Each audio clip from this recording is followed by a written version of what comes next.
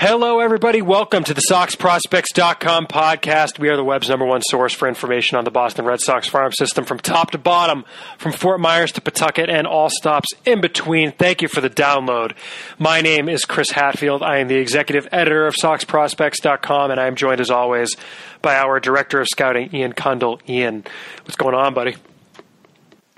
How you doing, Chris? It's uh it's been a while. It's good It's to be a back minute, talking yes. back on the horn talking shop. Yes, yes. Um, some housekeeping, everyone. First of all, um, I'm going to be tweaking the intro on the podcast to make it a bit shorter. So if you're a, a longtime listener and you, like me, sometimes fast forward through the intro parts of podcasts, give it a couple episodes, let me settle in. I think it's going to be a little bit shorter.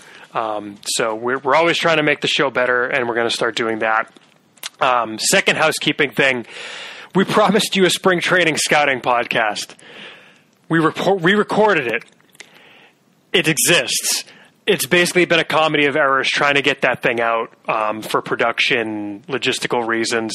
Um, but we're going to get it out. We we thought about sitting on it, and I think Ian, um, you know, basically based on the fact that the content in there is still useful. We will sound a little funny talking about things like Jay Groome not knowing he's about to undergo Tommy John surgery yet at the time we're recording the podcast. But it's got great info, and I, I think, Ian, we don't want to just sit on it. We want to release that. Yeah, I, I think that you know there's some interesting guys that we talked about, and Mm-hmm. as you said, a lot of it is still pretty relevant. Um, And it'll be, yeah. what's going on with the system right now. So I think uh, you guys will enjoy it. Yeah, and it's, it'll be an interesting exercise. Really, I think releasing it when we are like months later, and it's it's kind of good because we can hold our feet to the fire, man.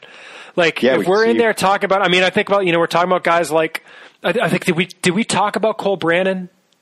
Yeah, we did, And, we, were and now he's spot on with that one. Yeah, and now he's been demoted to. Lowell. So, um, yeah, so it, it'll be interesting um, to see how that holds up. I, I remember one another person we talked about where the the Stanley es- or not Stanley Espinal, the uh, Curvin Suarez, um, Ever Luis Lozada Mm-hmm. pairing, and at the time uh, they were both performing pretty well, but Yeah, over the last like month they've come back to earth pretty hard, which. I guess was kind of expected, but was not something uh, we talked about at the time. Right. Given they were excelling, Right. you know, young guys in Greenville. Right, right. Um, so yeah, so that's coming. Bear with us. We're going to push this one out first because the draft is coming up. We're going to talk about the draft. The draft starts Monday the fourth. Let's go draft season. Yes, um, I did not realize it was on the fourth this year. I think is it? It's, it's know, earlier weird. than last year. It starts. Um, it starts Monday. Yeah, so we're um, that snuck up on us a little bit. We're going to push this episode out because it will be completely untimely if there's a draft pick, and we're not talking. We're talking like there's no draft pick yet. Um, so that's coming, especially given the state of the system right now. right? Which we'll get to. Um, so there's that. Teaser. Bear with They us. call it teaser. Uh, third bit of housekeeping, uh, and then we'll get into the a very short normal intro, and and we'll go. Um, it's the Sox Prospects donation drive, everyone. We, we we tell you every episode about how you can support the podcast uh, with a per episode pledge on Patreon.com.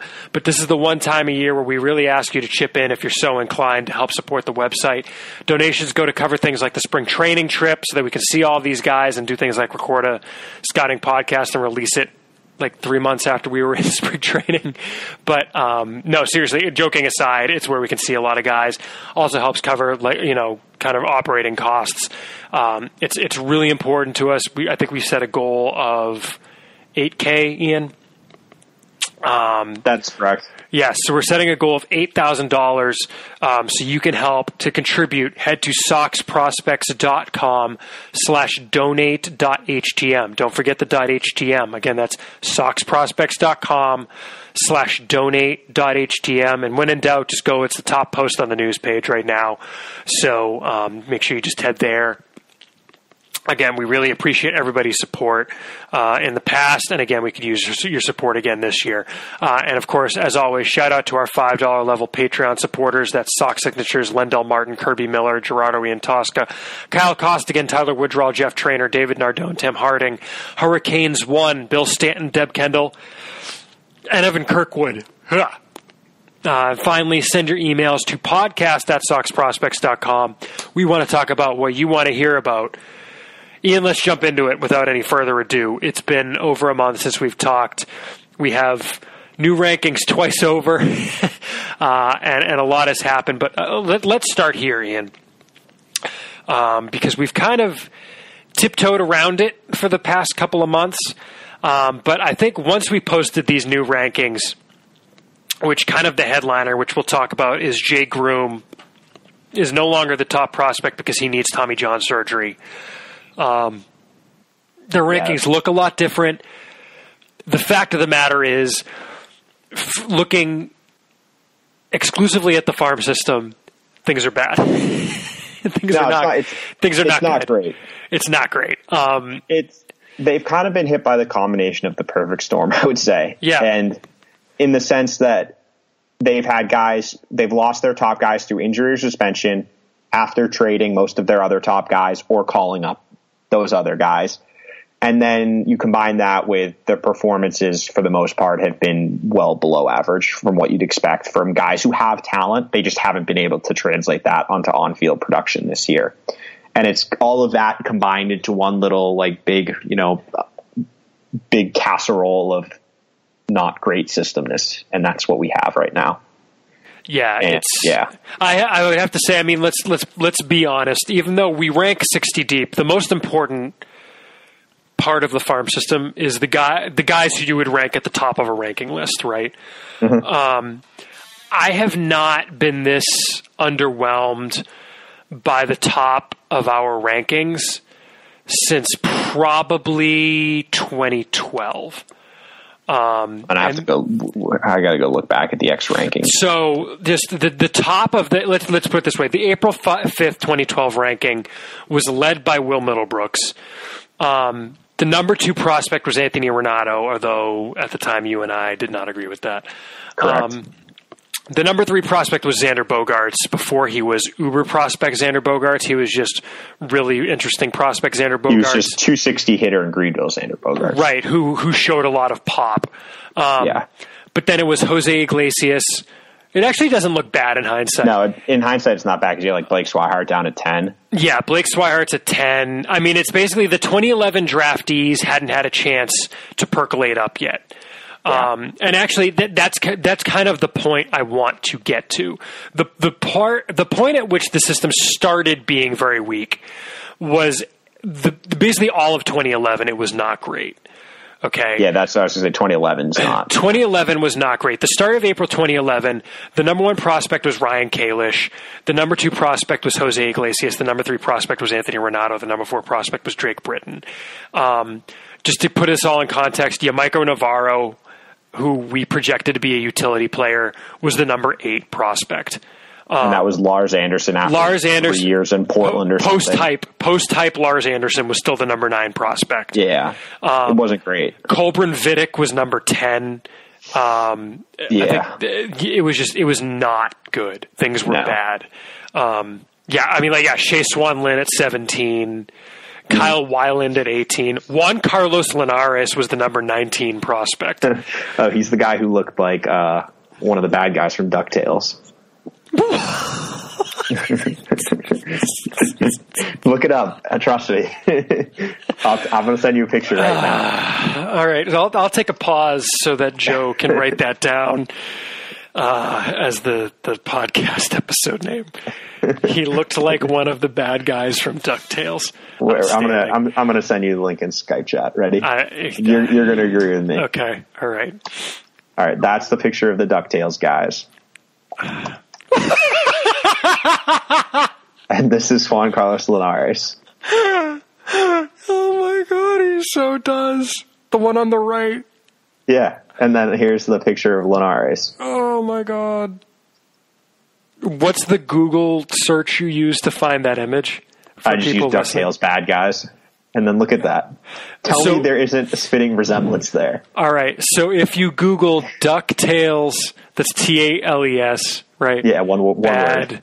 guys, and you do the Google image search, it's the first image and there's and three there's three guys with and here's another one. I mean i've got the google image search up.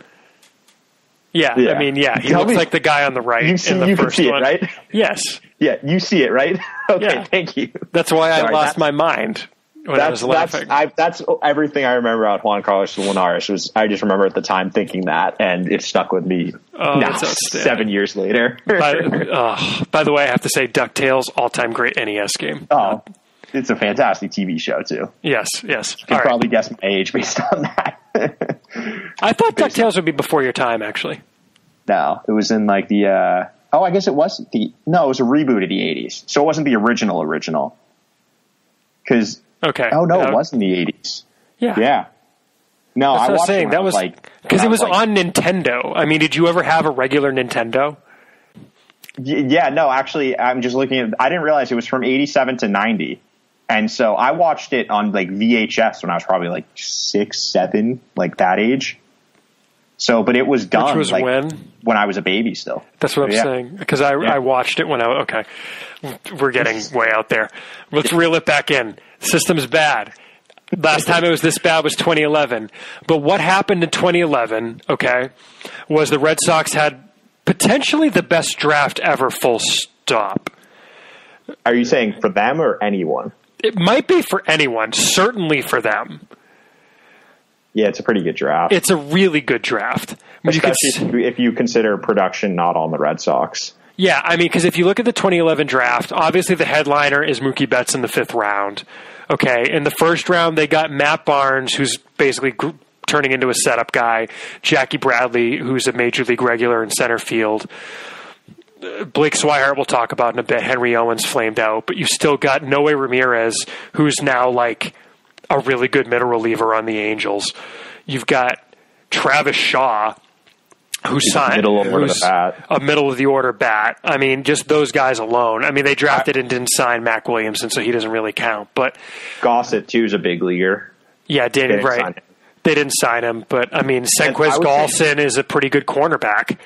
No, he's Um, got cut though. He's Oh, always did been he? hurt. That's too bad. Yeah, yeah, and, and I would say like the other two guys still in the system, Weems and Jarrett Jerez. I've seen both of them recently. I would give them both greater than fifty percent chances of pitching in the big leagues at some point. Yeah, so I mean, if you if you make your first four, five, six, seven, eight picks, and all of them play in the big leagues, and your ninth rounder is a major league regular, at least under the old system, under the new system, Shaw wouldn't have gone in the ninth. But No, they they have a chance for their point. top ten rounds to either be in jail or be in the big leagues. well, or except the for NFL except for uh, so yeah, Yeah, right. or the NFL. That's pretty well, impressive. Pena Pena never went to jail. He just got suspended Oh, three times. Yeah, sorry. I should. Yeah, allegedly for the other guys too. I don't know. If, I'm just. I think you No, just Kukuk, went to jail and Kobach got arrested. Okay, fair enough. I wasn't. I, I just realized that it's probably not a great thing to just throw that around loosely. No, But I mean, that's they, public they were, knowledge. They, they, they were either legal issues, NFL, or major league players. So Right, right, right. yeah, so that's a really good draft. Jesus, God, Mookie Betts is so good too. right. But that's what I'm saying. So that's that was the year their system was at the weakest. Now, of course, it was helped by the fact they had four first round picks. yeah, which It was helped by the fact that it was before the cap went into place. I understand. It's funny that. though that even then they only spent ten million. It wasn't like they spent like thirty million on that. Like to Right. get that ROI from ten million is insane. But Did they only spend ten million? yeah, ten nine or ten eight something. Or 10 9. 10, yeah, so just yeah. under 11. The ROI on that is. Well, it's just under 11, and if they had to do that because they had four first round picks. Yeah. So after that, yeah, I mean, Mookie Betts was seventy hundred fifty k. Hmm. Travis but Shaw I, got 110K. But I think that that just shows the value of a good draft can add to an organization, how Right. quickly things can turn around. So things can turn around that way. Also, 2011 was the year that Xander Bogaerts went to Greenville and hit like however many he hit. What what did he, in 16. like two thirds of a season, hit 16 home runs as a Yeah. 18 year old in Greenville. I mean, you know, Which it was that breakout year. So like these things are And that was cyclical. the year they, that was the year they signed Margot too. Okay, yeah, so there you go. So th- these things are cyclical, is the point I'm trying to make. Just because the system is not good right now does not mean that it will always be bad. Okay? There's that. There's also the fact that, uh, you know, guys could be in the system right now who come out of nowhere. Um, you know, when you think about the fact that Mookie Betts was entering the 2012 season not a ranked prospect.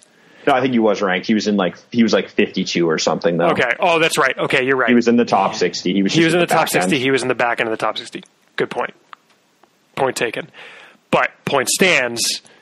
Yes. For all we know, I don't know, Tyler Esplin becomes like some middle of the order bat, or you know, higher up in the rankings, Danny Diaz turns out to be a stud. He's the next Rafi Devers. Um, you know, some other guy that they signed for 10k becomes the next, you know, Felix Doubront or Stolmy Pimentel or whatever. You know, who knows? So, point being, there's still reasons to be optimistic. There's still reasons to at least keep an eye on things. You never know who's going to break out. Um, so there's reason to have faith, Ian. Have I done a good job of expressing the glass half full? Yeah, no, and, and, and, as as you kind of said, profit development isn't a linear thing, and if it was, you know, it would be easy to predict what's going to happen. I mean, right. we don't know; things can change on a dime. Um, as you said, someone could break out.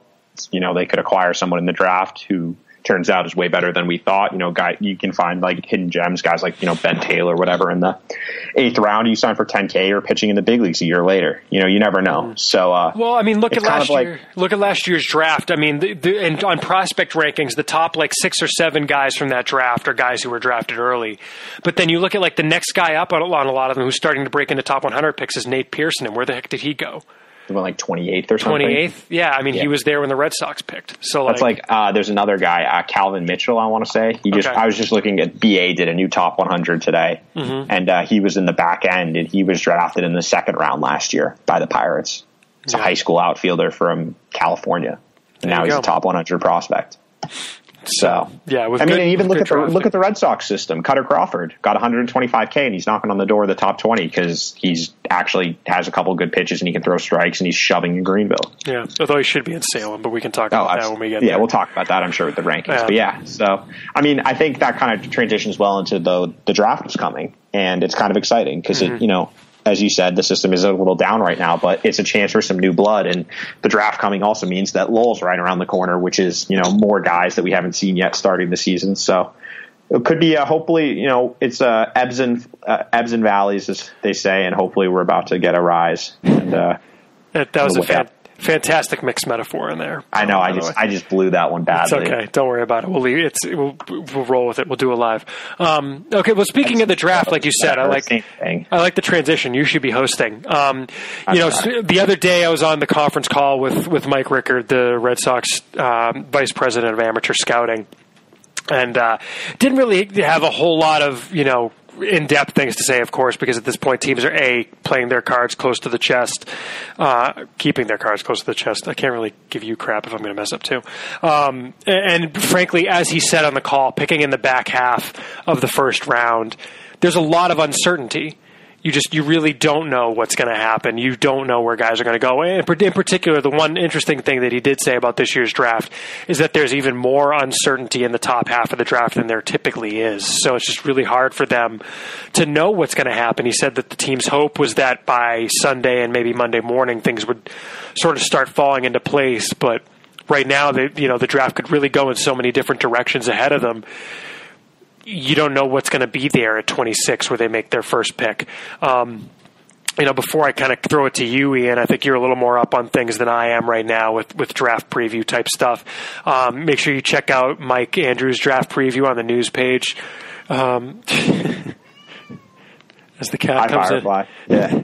Firefly the cat wants you to go look at the draft preview as well. You should though. It's really well. Mike does a ton of research for does it. Does a great job. he kind of always comes out of nowhere with it, and then yeah. I read it. and I was like, whoa, okay. He he really lays out like guys for their first three picks and then later round options based on you know kind of the archetype that the Red Sox tend to focus on in the draft, which we've talked about before. Mm-hmm. Um, including my favorite pick he suggested in the later rounds um, your cousin Chris Chatfield. Um, I, I, have to admit, so. uh, I, I pushed for his addition. so yeah, no, it's just really in depth, and it gives you a, a, a good. It give you kind of a generic idea with a bunch of different names to keep an eye on in the draft who have been linked at some point with the Red Sox. And he also so, does yeah. a great job of tooting our own horn for about four paragraphs about how our, our, hits and pass. he's actually, actually, he does a good job. He yeah, does a he's real actually pretty job. good at it. um, so yeah, whether by hook or by crook. Um, but yeah, I mean, I, I, guess you know what what's kind of the scuttlebutt on on who's being um, who's being mocked to the Red Sox right now, and what do, if any of them, what do any of them have to do with what I am currently consuming uh, as we speak?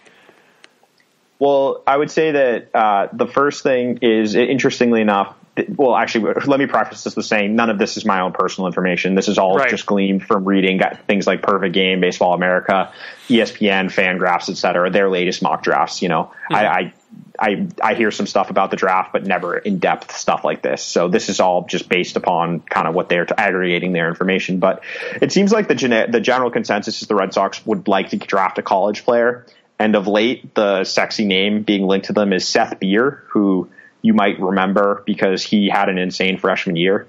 And um, people, he was kind of like the big name, I want to say two years ago after Team USA. And that's one of the things the Red Sox really like, it seems, as Team USA guys. But um, he's interesting to me because he would be such an un Red Sox pick because he's just a corner, he's like a bad defender hitter. Like he just hits. That's about it. And it's, you know, if you can hit, I mean, you make it work defensively. And um, he would be very interesting just because we, we've talked at length about the lack of corner bats and lack of power in the system, and he kind of would fit both those molds as he's probably a first baseman. So uh, he was been linked. He was in a couple of the mock drafts I was looking at today, and then another one also had a, actually did have a high school player, but it was also a high school first baseman um, who I don't think Mike mentioned in his preview, but who was who who was supposed to who in a lot of the other mocks is going higher than the Red Sox pick, but the, the Fangraphs mock mock had him falling down to the Red Sox. So I, I personally would like to see them go after a bat. Um, I just think I just think at the end of the first round, the the, the pitching options you're going to get, I, I don't I, I just don't think there's a lot of upside with the guys you're looking at there, and I think that's the kind of like pitching pitching is such a crapshoot as we've seen with guys like Jay Groome. Like the Jay Groome pick, we talked about how lucky they got that he fell to them, and look where we are two years later. He's not even pitching, and he's going to be, you know, right. probably in 2020 have thrown 50 innings in his major league career in three years. Right. So it's just like pitching. I, I just is such a crapshoot. Whereas hitters, I mean, obviously you never know, but hitters they're a lot easier to see. You kind of know what you're getting at least to start. And the question is, how will they adjust to wooden bats? But if you're taking like a high college hitter, obviously that's something the Red Sox haven't had a lot of success with early in the drafts, I would say. But in terms of being able to what the system needs and what it could do, that's definitely something they could really use as someone who projects as like a major league quality bat. Because as we've talked about a lot, the top 10, top 20, there's a lot of guys who or fringy, you know, borderline back end started relief types. There's not a lot of like everyday potential bats. Um, in our rankings right now, I mean, you have Chavis at number one, and then after that, you have to drop down. The next hitter in the top 10 is at number eight, and it's CJ Chatham. And even the guys, the next eight through 10 are all bats, but none of them I would project as everyday guys at this point. So they just have a real lack of depth at that, just hitting in general. So I, I, in terms of obviously you're you're going to draft best, best player available, and that's what they should do. But if that turns out to be a college bat, which is what a lot of the mock drafts have falling to them, that would be very interesting to me. Yeah, I mean, I guess the counterpoint to that is they sure need arms too. I mean, it's not like they, they have need everything. I mean, yeah, right. Just that's that's kind of the point. Um, yeah, but I think it's it's the risk assessment in that I, I like what you're saying in terms of like get maybe the safer first rounder in a college bat if there's an exactly. appropriate one available and use the fourth round pick, the third round pick, the fifth round pick on like the arm that falls, right? Get the the Alex Scherff type, get the the Mike Shawaryn type, the you know maybe isn't a first round talent and and it, it's not like you're getting the same player. Don't get me wrong no. here. That's not what i'm saying. I'm just saying i think the value proposition is to get the pitchers then. Because the thing is if they then need tommy john and they're out for a year and a half it's not your first round pick that's out for a year and a half Exactly. And I also think that if you just look in general, when prospects come out of nowhere, it's a lot more often you see it with pitchers than you do with hitters. I feel like, yeah. you know, you look at like this year, for example, a lot of the one of the pop up guys, like a guy like Shane Bieber, he was on no prospect list coming into the year, and I believe he was like a fourth round pick out of Cal State Fullerton or something, or UC Santa Barbara. He was a fourth round pick college guy, and now he's pitching in the big leagues. You know, a, two years later and mm-hmm. is a top 100 prospect, mm-hmm. kind of out of nowhere. Like you don't see that as much with hitters. And because I think it's I, I, it's it's tough to nail down exactly why that is, but I, I I think it's with pitchers, it's things can change a lot more quick or a lot lot quicker in the sense that you know, guy might develop a new pitch, guy might tweak his mechanics, and all of a sudden he finds more velo or he finds command. Or with hitters, it's a lot. There's a lot. It's a lot harder to find that you know significant change. You know because you do see it on time and time on occasion with guys like you know JD Martinez is a good example. We we see what he's doing with the Red Sox right now, and he was a DFA'd you know, by the Astros and he changed his swing and look what he's one of the best hitters in baseball now. That doesn't happen very often. It happens more with pitchers finding some, you know, niche or some little change, the tweak that helps them out. So I think that, you know, if you can get some bats early, especially if they're the best player available, and then kind of just go volume pitching wise and hope to hit on one or two of those guys, that might not be the worst strategy, especially given the current state of the system. Yeah, that sounds about right to me. And and you know, I'm intrigued to see how they go. You know, I kind of fear we'll get some like boring college reliever or something, but uh, you Probably. know, I, I, I no. you know, I mean, we, will we'll have to wait and see what what we get. Um, hopefully. Hopefully, it's something we can get excited about. Uh, you know, because the question will get asked, and we've been asked it elsewhere. Um, where do you think the range is that the first round pick is going to wind up in the rankings? I would say probably two to five. Two to five sounds about right to me too. Yeah. I mean, it depends who they are and, frankly, how we're feeling in the given time because it's just it's tough to compare. Uh, you know, the pre-draft scouting report. Exactly, it's tough without getting eyes on a guy. Yeah, yeah, for sure. So.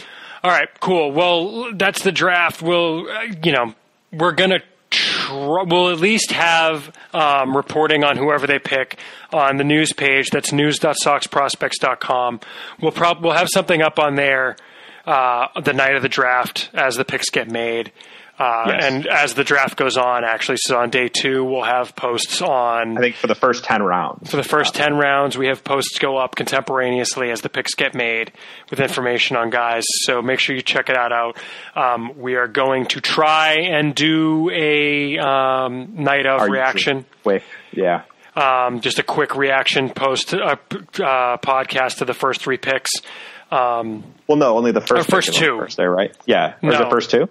It's just one, right? Oh, they changed it, didn't they? It's no, it's the first round. two. No, it's the first two two rounds are on day oh, one. is it? Okay, yeah, yeah, that then, yes. Yeah, so it's the first two rounds. We'll have uh, reaction to those, and uh, yeah, we're gonna try to do that. It'll be quick. No, no, no. It's first forty three picks are on the first day, so it's just the first pick.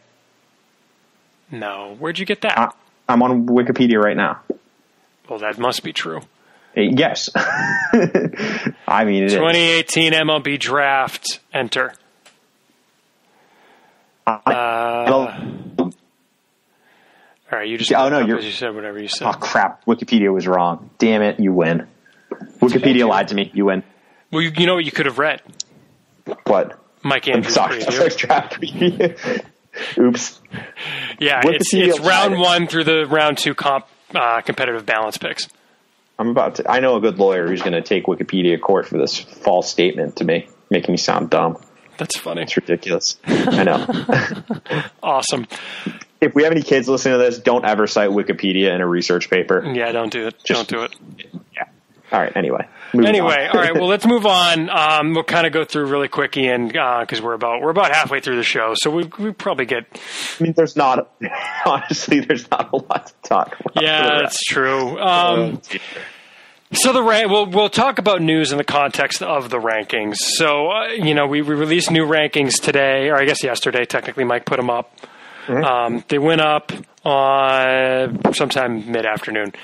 Anyway, a lot of changes. Um, I know I kind of went into doing my rankings, Ian. I don't know about you, with just slash and burn on my mind. Um, I did very little, very little deference to my past rankings, just because I'm I was sort of fed up with things and just going by gut on a lot of stuff. Uh, new number one is Michael Chavis, even though he hasn't played this year because he's suspended for testing positive for a banned substance.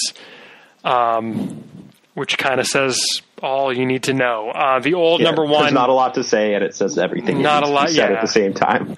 Um, the former number one, Jay Groome, fell to number four. And I think just in terms of rankings, Ian, I think the range we were considering him for was kind of like three to 5 Mm-hmm. I don't think I ever considered dropping him below Mike Shawaryn at six. I did not. Um, I think at one point, in one draft, we had Groome at five and rethought it. Um, it. It's just tough, like you said. He's so he needs. To, he got Tommy John surgery. Not needs. He he He's it. underwent Tommy John surgery, and not going to pitch again until hopefully late next season. I mean, for a guy, the problem is that he also next year. yeah, that sounds about right. Uh, unless he gets in the earliest I think we GCL games. Unless he gets in GCL games. But that would Um, not be until like August. Right. It would be in August and it would be like one inning stints. Um, The thing, well, because if you think about it, that would make sense because they've drafted guys and had them get into GCL games the fall, late the following season. Um, like Josh It's like, Pennington yeah, is the one I'm 14 thinking of. 16 months. Yeah. The August problem with 14, Groome, 15. Yeah. the problem is that he already had a lost year because of injury last year. Yeah. as you mentioned, it's entirely possible he enters the 2020 season with like 60 professional innings in three years. No, 2019, right? No, Uh, right. 2020. 2019. No, no, no. No, yeah. yeah. No, entering 20. they- This is 2018. Yeah, you're right. 20. Yeah, He won't pitch next year. Enters Because 2020 I, I, I was looking at his player page and he had no 2018 stats, so I was like, oh, it because he hasn't played 2018. yet. But of course, it's because yeah. So yeah, it'd be 2020. It is 20. Jesus. Yeah. Um, not great. He's the, the name that's coming to mind for him with me, Ian, and is not quite the same. I know is Hunter Harvey. It's a fair point. It's a good comparison. um, of just a guy's development being completely derailed by injuries. Yeah. Because I, he was he had to be added to the 40 man roster this year, and he'd thrown like 25 innings in his career or something. Yeah, I mean, it's just it's not good. Um, No. I mean, he's going to have to be added to the Rule Five, or not? He's Rule Five eligible, and would in theory have to be protected entering the twenty uh, the offseason after the twenty 20. twenty season. Yeah. So he's got a while. He'll be back on the mound before then. He'll be back on the mound, but the thing is, there's a distinct possibility he'll have never pitched in Portland and need to be protected, or at least in theory need to be protected. Which it then raises an interesting question of like, do you protect him knowing he needs two full seasons in the minors, and he's going to like be entering what might be his debut season with one option left? I mean, I guess Yeah. Well, I mean, that's kind of. I feel like that's a. it's suboptimal. I mean, look what it did to Drake Britton. But if you want to talk is, about lefty I high feel- school picks who needed Tommy John. I feel like you kind of hope that that's an option because if that's something you're debating, then that means he at least made it back. That's true. And that's got to be the first focus is getting him back on the mound and healthy. Because as we saw in spring training this year, the talent is immense when he's out there. Right. Problem He's- is he's just barely thrown. right. You know, he's it's been something here, something there, and then boom, now he's done for two years basically. Yeah. And that's just kind of been the story of his career, it seems like thus far. Pretty much. Um, And, move, and yeah. the thing is, though, that's that was one of the concerns. Like, it's a high maintenance body, Mm-hmm. And I don't. Obviously, you can't necessarily you can't pinpoint that as one of the. It's like him guys who are 6'6", jacked- 200 Yeah, him Guys being are- six six two sixty with kind of a soft body, not necessarily you know as a precursor to injuries, but I, I can't. I'm you know you don't know if it helped or if it hurt. Like he's just been it was a concern coming in. He obviously had, I think he had some sort of injury in high school. I want to say. Oh no, he just missed. He was. Oh no, it was the the eligibility. thing. transfer stuff. Yeah. Yeah, but then I mean, since his came to the pros, he's just it's something here, something there, and yeah. So Yeah. Um, moving on, uh, I wasn't really going to go into deep in this, but then when we were talking before we started the podcast, we had started having kind of an interesting discussion. Um, the number two and three prospects actually flipped spots. Kind of Uh, Tanner Houck jumped over Bryan Mata to become the new number two prospect. Um, honestly, if I re-ranked my guys today, I would probably flip them. Um, I was just really da- disappointed in Mata at the time we ranked. Because keep in mind, when we released the new rankings on June 1, we started the process on like May 22nd. It's like end middle end of May. Yeah. Yeah. So you know, Houck's last two starts haven't been great, and Mata's have been good. Uh, Mata just, you know, the, I, it didn't help that when they were in Potomac, I didn't see his start, but he went an inning and two thirds, and I was talking to a scout who doesn't cover their system and just asked me, you know, what's the rush with Mata? Meaning, like, why is he in Salem? He's in 19, he's 19, and he didn't look like he belonged.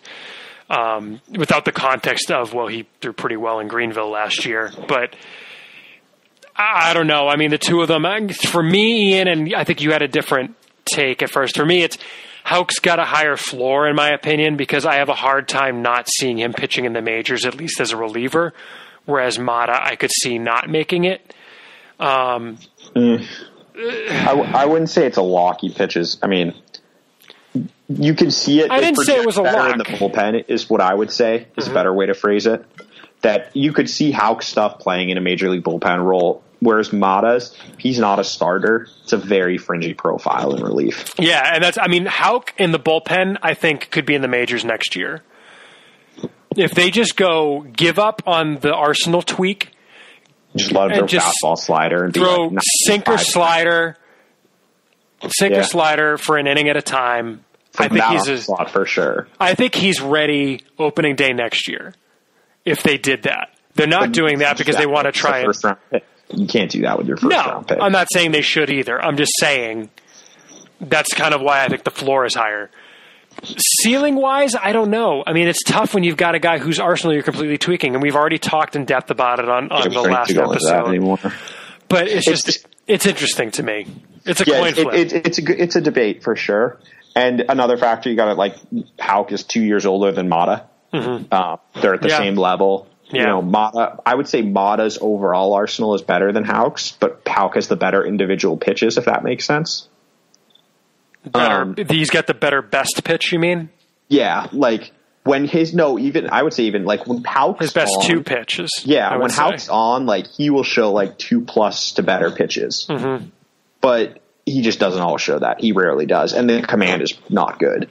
I versus, have yeah. No, go ahead. Versus Sorry. Mata is like a bunch of you know solid average, above average, you know, a bunch of 50s and 55s. Mm-hmm. You know, I'm not sure there's a plus pitch. He'll he'll flash like occasionally a, a plus um, uh, changeup, but it's like it's inconsistent, and he's still as what you'd expect as a 19 year old. So you know, it's just yeah, it, they're they're it's a really it's an interesting comparison. It's also a tough one because they are very different cases. Right. Right. Yeah. I mean, with Mata, you know, it's I'm I'm trying to find. I took some notes based on what the scout said in Potomac because he saw Mata. I mean, he had on the fastball velo present four, future six, command present three, future four, movement. So he saw a really bad command day. Yeah, he saw really. I mean, he saw he saw one of the um, inning and two third starts. Okay, um. Fastball movement present five, future five and a half.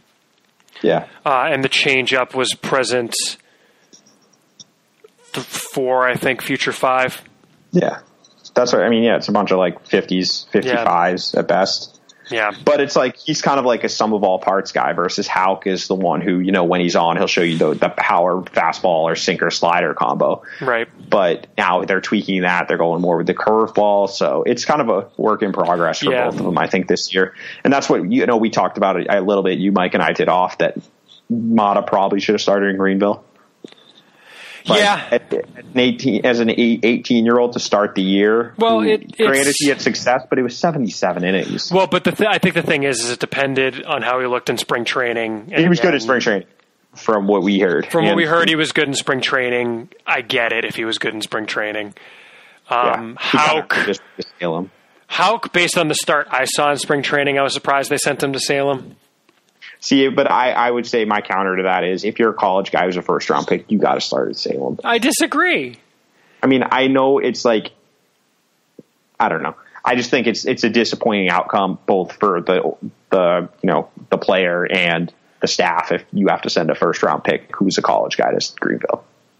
I don't know. I don't. I don't. I think if you looked at the actual first rounders from this past year, which I won't waste time doing right now, because that's pretty in depth. But yeah, I don't think all of the college guys, even the guys picked ahead of him, all went to high A. But that's just I'll me. tell you in two seconds how many did. I know one's already a double A. Right, but that's what I mean. I'm just saying, like, like what's the difference if you start him in Greenville for four, four or five starts? How does No, that slow his development down? I mean, I guess okay, fair. For that long, it doesn't really. Yeah, that's but- what I'm saying. Just go, let him go there and say, look, you've got two new pitches you're throwing. We want you to go to Greenville and throw them. You know, don't blow guys away with nine straight 96. Although I guess that's one of the pitches they want him to throw. So maybe blow guys away with straight 96. But like, you know, maybe put the slider away for the most part. Work on the curve, work on the changeup.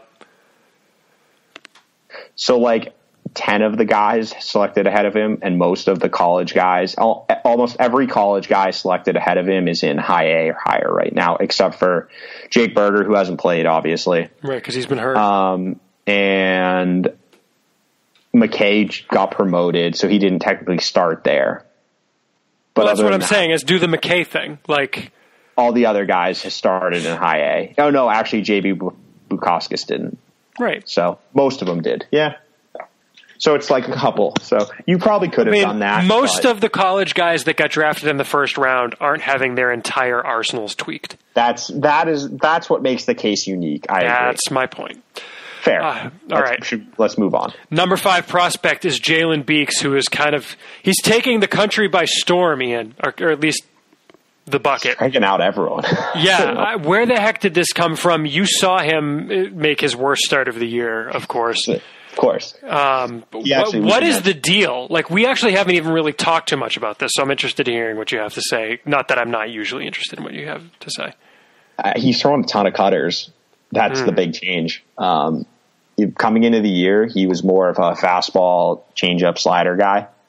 Um, and he would show like an occasional, he'd show a throw a curveball, but the curveball has always been like a kind of a show me, steal a strike pitch. Mm-hmm.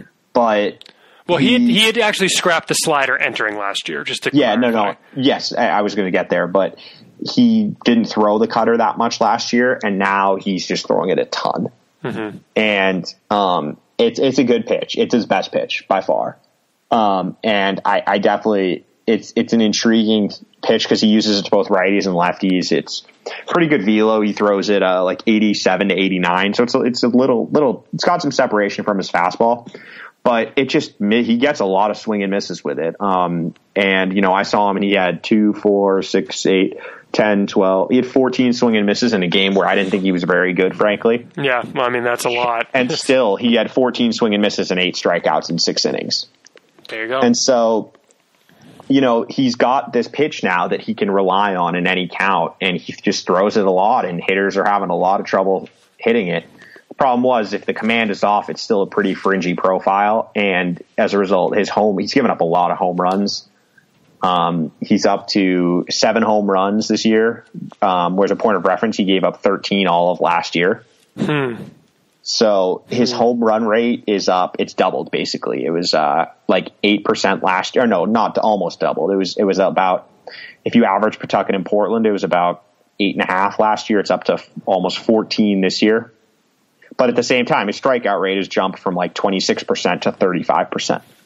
yeah, I mean, he's- So he's kind of changed. It seems like he's kind of selling out for you know get a bunch of strikeouts, but also occasionally you're going to miss make a you're going to make a mistake pitch and it's going to get hit. right. And I think the the cutter is interesting because it gives him a pitch that he can kind of just like rely on and just throw it over and over again. And when his curveball, which the part of the problem was in this outing, his curveball was not on. He could barely throw it for a strike, and it was just it, he was he probably threw like six or seven the entire game. So more or less, he was a two pitch guy, just throwing fastballs and cutters, and that's that's tough to get by with that. But if you have a cutter working, we've seen guys do that before. Mm-hmm. So I, I think now what what's changed for me is I give him a slightly better chance to start than I did in the past because he does have a pitch that I he does I would say the cutter cutter would is borderline plus. I probably wouldn't call it a plus pitch, but it, it's it's an above average pitch. I would say Flash Like a- plus. yeah, occasionally. I wouldn't. I, I don't think I. It prob. But the problem with saying flash plus is then people hear that and think plus. Yeah, no, I, I wouldn't call it that. But Yeah. so he does. He didn't have a pitch like that before, really, Mm-hmm. and so now he does, and so that's definitely a thing. And so I would say, you know, there's a chance to be like a number four type starter there. But I still think it's like a 50-50 shot. He's a swingman reliever, which I actually really do. I still maintain that that could be a very good role for him.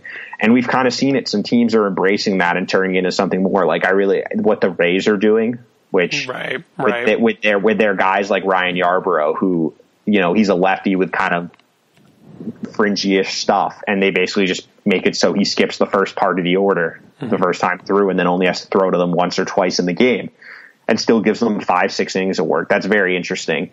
And something that I think could be obviously I don't I'm not sure the Red Sox want to go down that route, but Beeks could be useful in like a three four inning bridge role um, as soon as this year. And just his ability to miss bats, though, also gives me hope that if they did decide to go full time bullpen, I think he could be pretty good in that role of just, you know, go out there, let it fly, throw fastballs and cutters, and just strike guys out. If you're going to sit Drew Pomeranz down for two weeks to figure things out, are you calling Jalen Beeks up to start, or are you going with uh, Velazquez or Probably Steven. Wright? It's probably Steven Wright. Probably Steven Wright gets it, but Yeah. I mean, I, I think I don't think Beeks is far off. I definitely think we see him at some point this year. And Oh, yeah. at worst, like his platoon splits, he destroys lefties now. I don't know if you've looked at his splits against lefties. So, this ver- year. yeah, okay. Yeah, Nine- if you've nine- got it up. I've got it already. 19.2 innings, 12 hits, 29 strikeouts, two walks, two earned runs. It's 29 strikeouts and 69 batters face. yeah, So that's like pretty- his strikeout that's his strikeout rate is 42. Very nice. His strikeout rate is 42 percent against lefties. That's Like, crazy. That's kind of is, like, crazy. that is like he could be a weapon. As Let's put it this way: for the bullpen. it's a 185 batting average against on a 334. Or sorry, 314 average on balls in play. yeah. So like he's, getting so relative, getting a little bit unlucky. Like he they lefties and this was I noticed this too in the game like except for Dylan Dylan Cozens murdered a ball off him I should say but uh, Dylan Cozens is also like Dylan six foot Cozens, yeah, Dylan Cozens is a monster. Yeah, but um, but like he he lefties had a lot of trouble because the cutter just he just he can bury it in on the hands of them, you know, kind of like backdoor it where it starts off the plate and then comes on the inside corner, I guess front door it actually, and then he also can just bury it down in a way where it starts, it looks like a strike and just falls off away from them. And you look against righties, he's been solid against righties, but six home runs, 29 hits, like righties are getting to him a little bit. He's still striking a ton of guys out but it's just the platoon split thing has me really intrigued, and I, I do think he's going to contribute at some point this year to the Red Sox. Um, especially when you look, actually, funnily enough, his platoon splits last year in Pawtucket, he against lefties, 25 innings, so a few more innings, 31 hits. Well, you can't really plate- use innings with Yeah, sure, that's not a great. I guess batters faced. How Yeah, use do that? batters faced in a. 104 guys faced, 10, 8, 7, hit 9. Um, K9 was just about 9. Home runs per 9 was over 1, was almost 1.5. You know, 342 OBP, 490 slugging versus this year, 206 OBP, 292 slugging. So this cutter's made a big difference for him against lefties, and it's Yeah. definitely something that uh, he can rely on against them. Yeah, definitely. Um, And we'll, we'll have a write up. I'm going to write him up at some point. what do you think about Beeks Velo playing up out of the bullpen? Seems like a possibility for him. Yeah, he was. He was. Oh, I should mention he was 90 to 92 when I saw him with his four seam, but I've seen him up to 95 in the past, and I think that you could tell he was just when he's throwing all the cutters, he kind of just paced himself with the velo, and he's working deeper into games, which I like too. Like he threw, I want to say eight innings last night, Hmm. All right. seven innings, seven innings last night. He's gone seven, six, six, six, five, 6.2, 5.26 in his last like eight starts. There you go. So he's throwing deep in the games, and with his the changes he's made to his delivery over the year, which we've kind of chronicled in on the site, he's definitely he's he's a guy kind of like what we talked about earlier, guys who can come out of nowhere. Twelfth round pick out of Arkansas, Right. who's developed into a legitimate potential big league pitcher. So uh, yeah, like he's yep. I like it. Um, looking elsewhere in the rankings, I guess we should probably at least briefly mention CJ Chatham jumping up to eight. Um, finally starting to play the field again about a week ago for Salem uh, after not playing the field for about a month and a half, DH only, um, plus a short DL stint. Uh, good to see him there, and it, it kind of plays into the fact that probably one of the biggest risers in this month's rankings is Santiago Espinal. He's the new number 15 prospect infielder for Salem, who was the shortstop from the start for Salem from the start of the year until about a week, week ago. ago. And now that Chatham is playing shortstop, Espinal is rotating between short, second, and third. He's starting to get time at other infield positions, which I, I think is intriguing. Definitely. I, it's a utility profile for me, always mm-hmm. has been. But he's athletic. He can play defense. He has he can hit a little bit, and he's finally showing some pop this year. So yeah, he's he's super aggressive on the base pass. He's about a sixty runner. Um, he actually, when I saw him in Potomac, uh, in the first game I saw him, he stole third base because he got caught off of second base on a oh, pickoff. Oh, love that. uh, so he gets credit for the steal, even though he basically got caught leaning. Um, it was a bad play, basically. Yeah, yeah. I mean, he uh, let's see, he he legged out a single uh, on a ball hit to shortstop. Uh, he got caught stretch. Oh, actually, he yeah. See, the problem is I wrote this in pen and I wrote pencil and I wrote on pen behind it. Ooh, um, rookie mistake. Yeah, yeah. He uh, Oh no no no no! You know what happened? He got caught stretching. Oh, he got caught stretching a uh, uh, double into a triple. Double into a triple later on, um, and then let's see. Oh, and then the next day he got. Uh, no, who am I? Okay. Oh no, you know what it is? I got caught stretching, and I read it as caught stealing. Gotcha. But he is aggressive. I stand by the point. Uh, very aggressive, very athletic, very loose up there. Um, uses a leg, leg, leg lift. A lot of pre-pitch movement, which was mm-hmm. interesting. Um, but definitely hitting for a lot more power this season, which is kind of the big change. He's slugging 491, uh, and he already has six home runs this year after hitting four last year in Greenville and slugging 358 on the season. And I think I'm, I'm just looking at the advanced stats right now, and he, he's always been a good K walk guy. You know, mm-hmm. he's never struck out more than uh, yeah, this year's stayed the highest, same. but it's twelve point seven percent. It's the same thing. Yeah, and his BABIP is not outrageous. It's three eighteen. Nope. You know, that's pretty normal. His walk rate is staying the same as last year. The big change in his batted ball profile is the ground ball rate. Ground ball rates dropped from forty six percent to thirty two percent. That's a mm-hmm. significant change. And the thing I like is that he's it's, not doing it. It's not for fly balls. It's for line drives. Yeah, so he's just he's, more hard contact. Yeah, when I saw him, he was hitting everything hard. I mean, I have you know, first inning, else line out to shortstop. Second inning, ripped single down the left field, down the left side. Fourth inning, ripped double to left center. Stole third base when he got caught off of uh, second base. Sixth inning had that infield single. Um, eighth inning, you know, he grounded out. But next day, uh, second inning, long F nine. Uh, fourth, line out to center. Yeah. Seventh, six three, well struck. I mean, everything exactly. is hit on the screws, and that's what you. And like that's the point is that you, you like you like to see that change in batted ball profile, but he's not giving up contact at the same no. time, if that makes sense. No. And that's a really good sign. So he's someone who's definitely, I think, very interesting in terms of the lower tier of the system. Yeah, and he looked fine fielding the position. I mean, I didn't see him make enough plays to call him above average or anything like that. I mean, he definitely made all the plays that were to him when I saw him in instructs and spring training, I, I would have called him probably like an above average defender at short. Okay. Yeah, I don't think sounds right. That squares gold, with. Not going to win a Gold Glove there, but he could stick at the position. But yeah. at the end of the day, I don't. I'm not sure the bat's there to carry a starting projection. So he'll probably, as they are kind of already using him, um, I think his value is going to come from defensive versatility. Right. I, will make a bold prediction slash hot take right now. I bet Santiago Espinal is a top ten prospect in the system by the end of the year. I mean, I yeah, I wouldn't rule it out. Yeah, I mean, he the needs to thing, do more, and I will see him again. Remember, is he's 23 already. Yes, exactly. So he is on the old side. So if I'm them, I get him up to Portland sooner rather than later. Yeah, especially with Jeremy Rivera just not having a good year up there. Yeah. Um, you know, I guess that they can play Chad De La Guerra a little bit more at short, but uh, now that he's been demoted from Pawtucket, but um, you know, if you look at the Portland lineup, I mean, is let's see if it's been De La Guerra or Rivera. Yeah, it's been Rivera still like recently. Tony Renda too at second base. Well, Renda's not playing short at all. Oh, he is. Okay. No, no oh, Renda's he's not. not playing. He's actually playing. I mean, he just went on the DL for one thing, but oh, really? Actually, once De La Guerra went back down, they started playing Renda pretty much exclusively in left field and DH. Ah, gotcha. Because I saw him play second. That's why I was mentioning it. Right. When I saw Portland, he was playing second. Yeah, the sec- second base has been Lavulo and De La Guerra. and shortstop's been mostly Rivera with a little bit of De La Guerra. So I'm wondering if they're getting getting away from De La Guerra at short a little bit. Yeah, he wasn't great there. So that wouldn't be surprising. I mean, he was okay. think- Yeah, briefly on Chatham too. It's just I think it's good to see him healthy. That's the biggest thing. Mm-hmm. Yeah. A talent here. He's he's a talented kid. You know, he's got a good frame. He's hitting. He can play shortstop, and he can. I I think there's contact skills. I don't think there's power.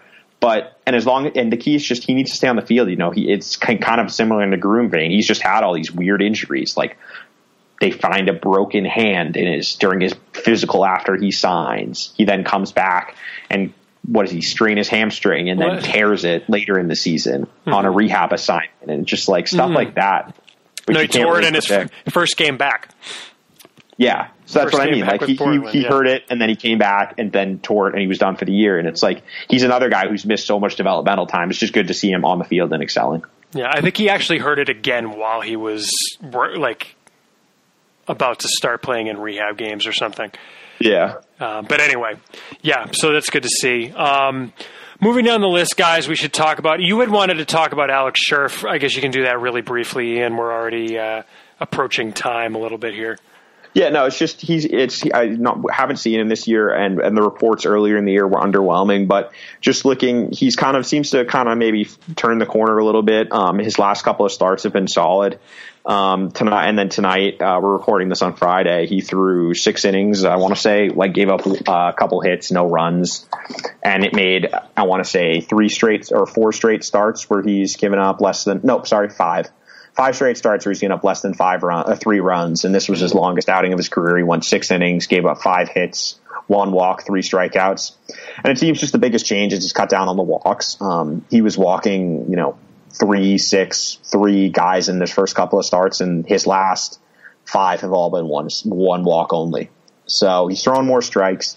Strikeouts are still not there. Um, But, you know, and as we kind of talked about when Chaz and I, uh, we, we saw him in spring training and then wrote him up in notes from the field at spring training, it was going to be a work in progress. You know, it wasn't like, uh, he wasn't a guy who's going to move quickly. He's not a guy who will be show you consistent stuff from game to game, but in flashes he will, and that's obviously they saw a lot of him to be willing to give him the bonus they did in the fifth round. So it's good to see him having some success, and I'm sure that's you know good for him too. Um, obviously mentally, it's tough going out there and getting hit every time. So when you get on a run like this, hopefully it's something you can carry on uh, towards the second half. One guy we should talk about is the number 12 prospect, Travis Lakins, has moved up in the rankings after coming back off of an injury. He was really rehabbing uh, the uh, elbow fracture, uh, stress fracture, I think it was, from last season, but he's back in games, and it's kind of interesting what they're doing with him, Ian. First off, I, I, you haven't seen him, right? No, I have seen him. Oh, you have? Okay. Well, so when he came back, they started, they, he was starting pitcher and he was doing three inning outings, which was very interesting. So he was going out, and I guess the, the, the idea was three inning outings. He didn't Yeah, get they- to three. He, he- didn't he get to on- three innings every time. He was on. I want to say it was like 60 pitches or something. Sixty something 50? pitches, yeah. Um, but Yeah, I think it was yesterday, 50. I Yeah, think so he was starting, and uh, he was actually being piggybacked by Teddy Stankiewicz, and it's Yeah. actually kind of interesting. Um, we thought it looked like they the word at, the, at one point, as reported by I think it was Alex Speier, um, was that they were trying to decide. First of all, the stuff looked great. Reportedly, he was having great success. I saw it. The stuff was very good. Yeah, and they were trying to determine whether to continue to start stretching him back out into starter outings to keep him in that kind of three inning hybrid sort of role, which I was very intrigued by. Yeah, I'm a big advocate of that role. I'm sorry. I said I'm a I'm a big fan of that role. Also, Role, we're seeing it. Yeah. guys have it a lot. There's a lot, several guys like The Josh Hader. Josh Hader, Seranthony Dominguez, guys like that pitching. You know, bring him in in a high leverage situation, and let it throw two, three innings, however many pitches he's got. Right. Um, but or the other option, which is what it looks like they've now gone with, was to convert him to the bullpen full time. Yesterday on May 31st, he, he had a one inning relief outing, his first of his career, and I think that the determination is just that you know, I mean, it's not a big body. Just probably wasn't going to hold up to starting after consecutive years in which he, you know, his his elbow basically gave out. Um, so it looks like they're moving him to the bullpen.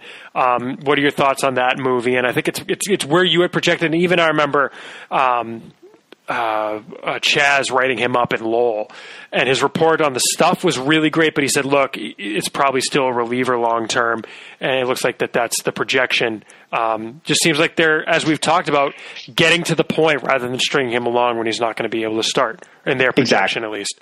Exactly. And with him, as you alluded to, it's the health. He's just Mm-hmm. he's had these injuries, and if they think that in a one inning bullpen role is the way to keep him healthy, then I say go for it because the stuff is it's premium stuff. Um, he was up to 96, mostly 94, 96 when I saw him. Velo tailed off even in three innings of work though, so you know we were down in 92, 94 by the third inning. Well, that's, I mean, that's the telltale sign, right? So yeah, but so like you know if you're coming out 94, 96 with a cutter and a curveball, and the, both of them were good pitches, then that's a really interesting profile out of the bullpen. And I wonder if he's another guy who could move really quickly if he succeeds in that one inning bullpen role and could potentially put themselves in contention for a call up later in the year.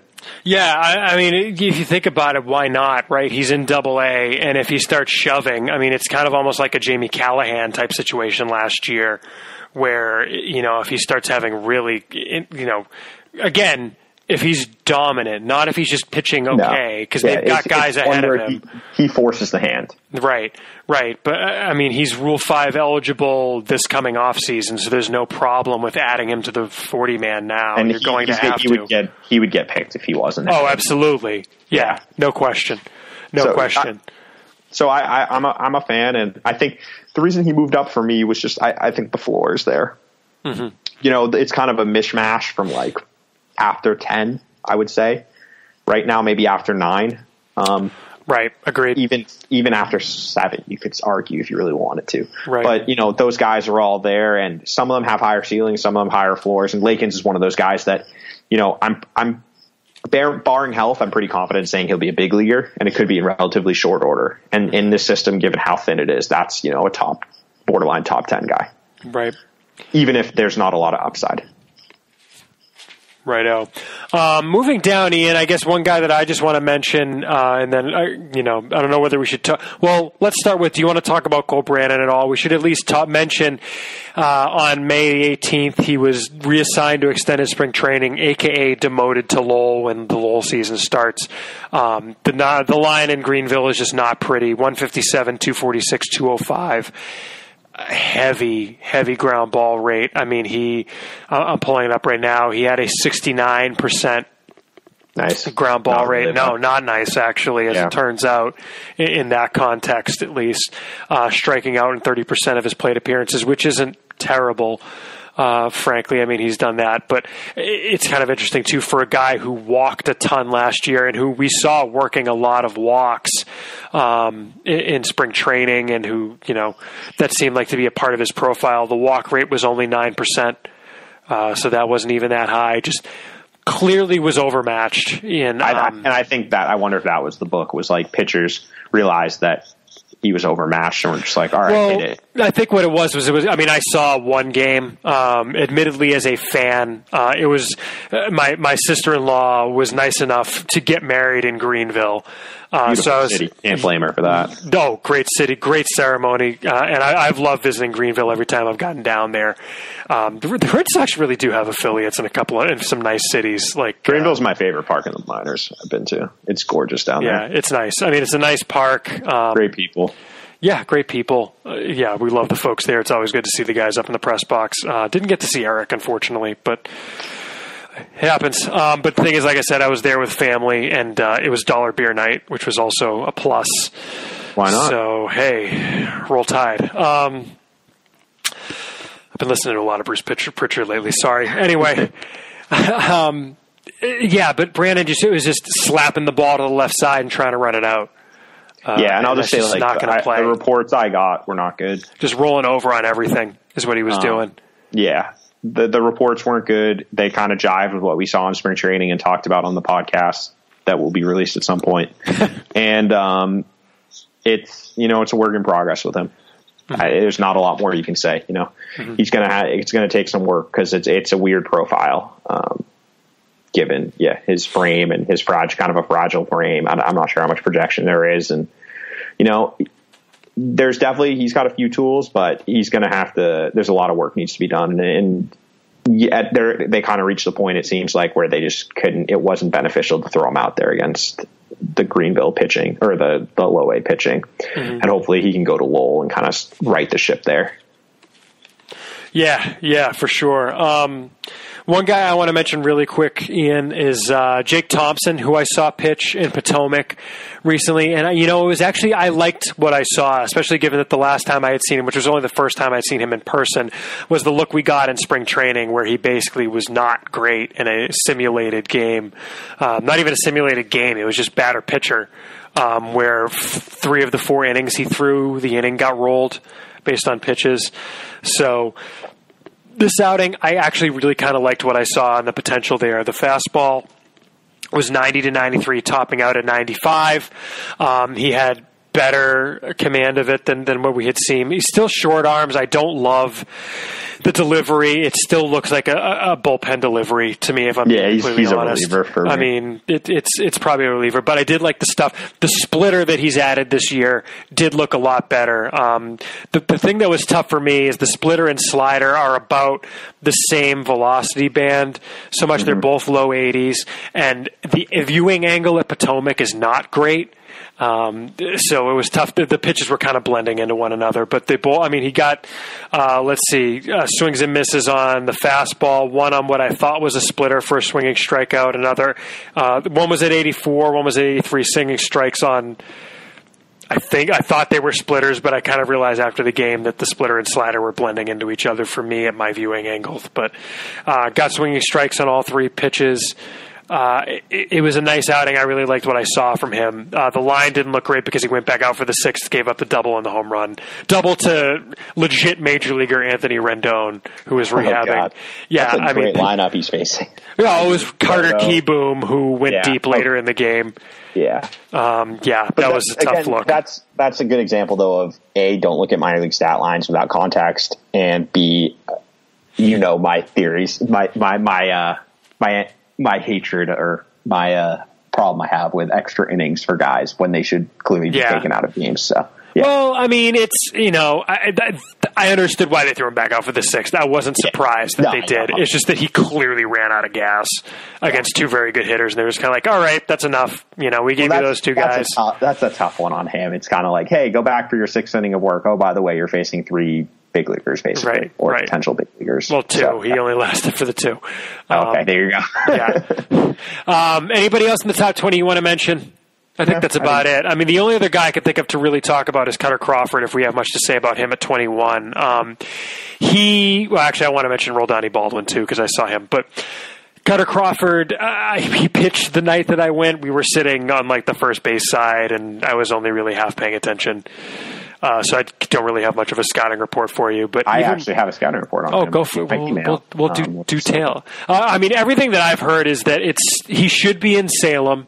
I also think he's probably a reliever, but and he should probably he's still probably a reliever. Yeah, but um, let me find it. Where is it? Well, in the meantime, let me talk about Roldani Baldwin. Baldwin, I really liked. Ahead. I liked him at the plate.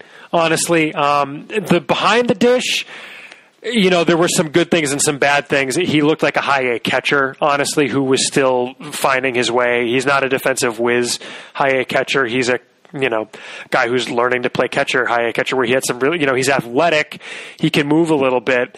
Um, I, I remember a couple pitches getting by him that probably shouldn't have, but he wasn't a hack back there. I wasn't sitting back there, you know, thinking, you know, oh wow, you know, he's Ryan Lavarnway and there's no way he's a major league catcher. Um, Ryan Lavarnway is a major league catcher though. Well, I mean, you know what I mean. I, I, am just giving you a hard. Um, the arm was a little iffy. He's, you know, he's going to have to watch the body. It's a thick lower half, but at the plate, I mean, he stung balls, man. Um, he when he connects, he strokes it. Um, at the same time, connecting you know, is an issue. Yeah, connecting is an issue. I mean, his first at bat, uh, the first game I saw, he struck out on a breaking ball low that just completely fooled him. Um, but later in the game, he he hit a home run to center field where it's like 400 to dead center. So yeah, uh, you know the power's there. He, he, he looked pretty good, but breaking balls gave him trouble. Uh, also below average run. So, oh yeah.